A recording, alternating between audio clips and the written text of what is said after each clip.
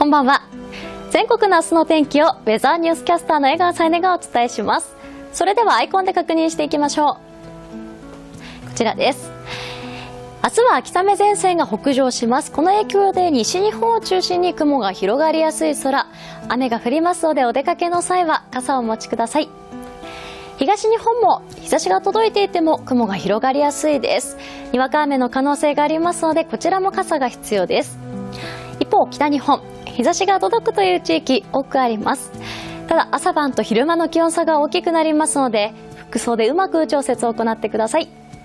以上、全国の明日の天気確認していきました。今日も一日お疲れ様でした。